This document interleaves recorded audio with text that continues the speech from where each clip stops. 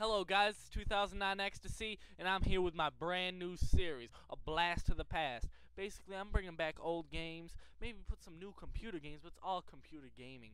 And we're going to come here with one of the classic, most exciting series in the PlayStation 1 franchise. One of the first games to come out on the Sony PlayStation. It was phenomenal. It met players to go into this brand new exciting world under the name Crash Bandicoot.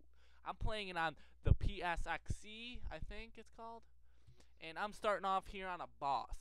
So what I'm going to do is I'm going to show you some game gameplay. And I'm going to be doing a lot of gameplay videos and playthroughs of certain games. Now I'm not going to do all the Crash Bandicoot playthrough on this. Just because it's worthless to keep doing. But I will There you go.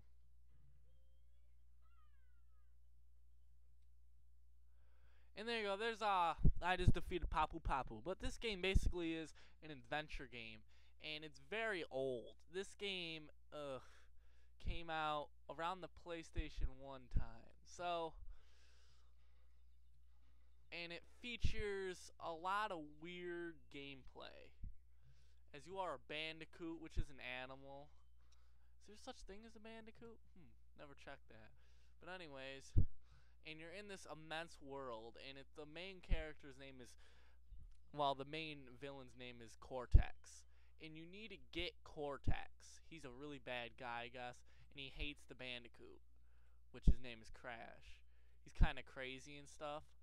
And this character is really loving. I mean, not loving, but it's it's easy to love. You cannot hate Crash he's it's an amazing character, and they could really do something good with that.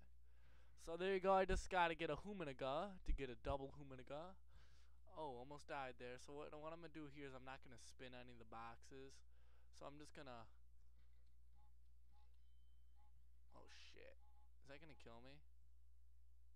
Oh, wow. We got some gameplay issues here. Don't know what's going on here.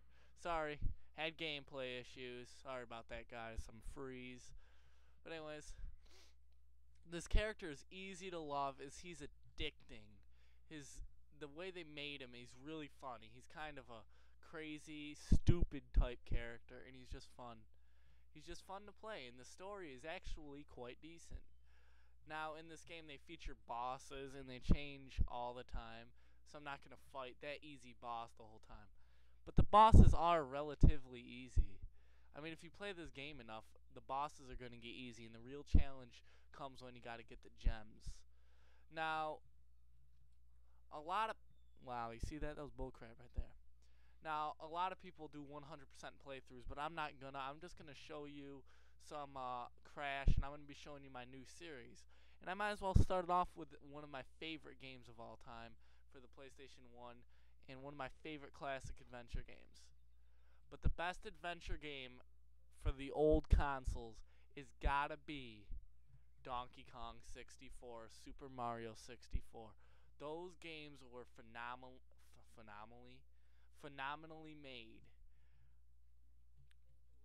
And then this is one of the one is this is one of the good PS1 games. Now, the PS1 you all should know because if you don't know the PS1, you have problems. But the PS1 is made by Sony. Well, most of you should know that. And it kicked off their brand new um, PlayStation franchise, which is still around today and is still amazing. So right here is a bonus world.